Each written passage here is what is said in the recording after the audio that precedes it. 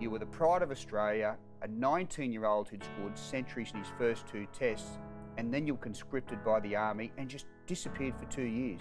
Well, something that I probably could have done without at the time, certainly at the time, um, going into national service. But um, I guess um, if my marble come out of the hat, uh, I had to accept the fact that um, I wasn't going to dodge the issue. Your name came out, that the huge pop singer of the day, Normie Rowe, came out. Bob Fulton, the rugby league star, his name came out.